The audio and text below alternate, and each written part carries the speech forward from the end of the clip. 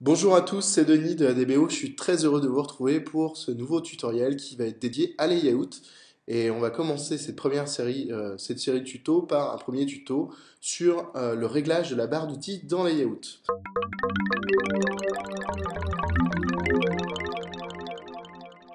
Donc Layout euh, est le petit programme qui sert à la mise en plan de SketchUp. C'est un programme qui n'est disponible que sur la version Pro. Donc si vous avez la version gratuite, vous ne pouvez pas le faire.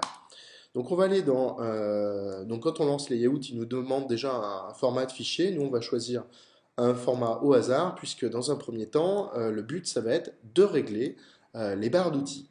Donc sur Mac et sur PC, c'est un tout petit peu différent.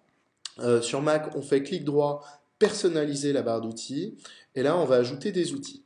Alors ce que je vous propose d'ajouter comme outil, c'est l'accrochage, donc le petit aimant, qui est accrochage des objets activés, et aussi tous les euh, outils d'alignement, donc alignement en, haut, euh, en haut, en bas, à gauche, à droite, les alignements de centrage.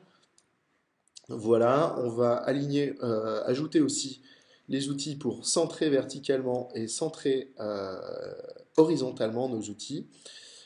J'aime bien sur Mac, alors là spécifiquement sur Mac, ajouter aussi couleur et police. Et je crois qu'on a paramétré les barres d'outils euh, sur Mac. Sur PC, les choses sont un tout petit peu différentes. Donc on fait un clic droit, personnaliser la barre d'outils. On a une petite boîte de dialogue qui apparaît. On clique sur plus pour ajouter une nouvelle barre d'outils.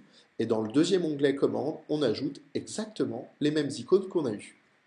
Voilà, je vous remercie de votre attention. Je vous invite à euh, cliquer sur j'aime, partager cette vidéo et, euh, et vous abonner naturellement pour avoir les prochaines vidéos. À bientôt